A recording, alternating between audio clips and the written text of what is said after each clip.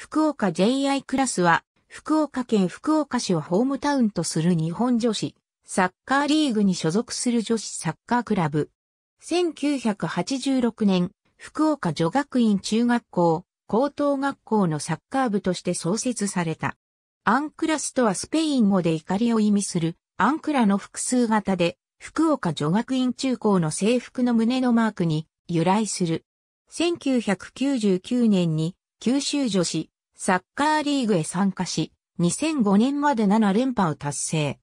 また皇后杯全日本女子サッカー選手権大会では、第21回大会、第23回大会、第24回大会に九州地域代表として参加している。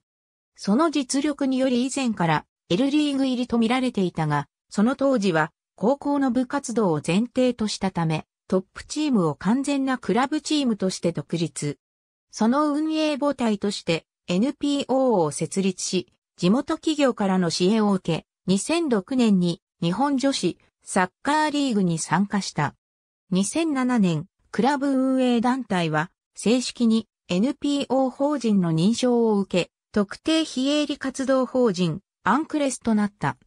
2009年、スペランツァ FC 高槻との入れ替え戦を制して、翌年からの一部昇格を果たす。2012年10月28日、アルビレックス新潟レディース戦で引き分けたことにより、なでしこリーグから降格が決定した。2015年は、なでしこリーグ2部に参加するも、リーグ戦で10チーム中9位。入れ替え戦で、横浜 FC シーガルズに敗北。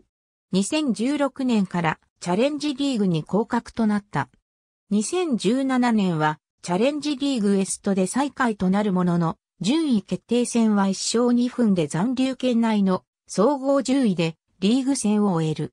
しかし、同年10月、日本女子サッカーリーグ理事会において自主大会を勧告され、同シーズン限りでチャレンジリーグを大会した。同年末に新たな運営会社を立ち上げ、NPO 法人から運営を引き継いだ。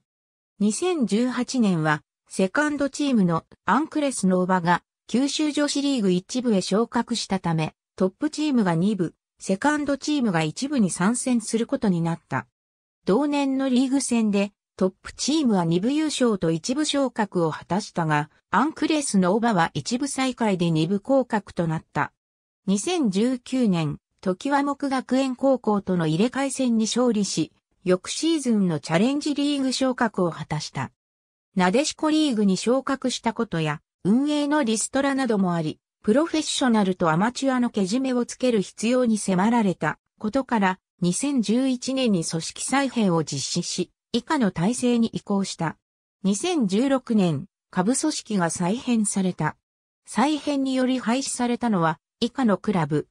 このうちユース福岡女学院 SS は所属していたリーグを脱退し、純然たる学校の部活動に移行した。ユース春日は新生ユースの母体となった。ホームゲームを開催するスタジアムはベスト電気スタジアム、福岡県営春日公園球技場、小郡市陸上競技場、北九州市立本庄陸上競技場、鳥栖市陸上競技場、佐賀県総合運動場陸上競技場などである。ただし、北九州には、ギラバンツ北九州の関連団体として、ニューウェーブ、北九州レティースが存在するため、女子リーグ改革後は、福岡、筑後県での開催が主となっている。2021年。ありがとうございます。